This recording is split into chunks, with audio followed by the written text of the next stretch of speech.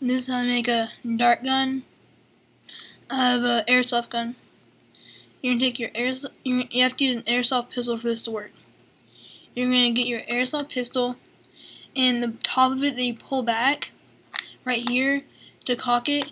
You're gonna um, take it off, and then you just, you're just gonna stick a screwdriver right here in the crack, and then push down and pull the top off and uh, then there's gonna be a spring that's gonna come out. It's okay, you just, you don't need it. And then right here, there there should be a separate piece right here, and it should be able to pull back on its own. And so you're gonna get little sewing needles. They need um, you can use any kind, doesn't matter.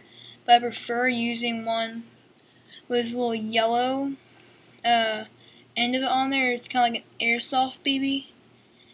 Uh, I'm trying to show you, and um, so you take that, and then you just drop it down into the barrel.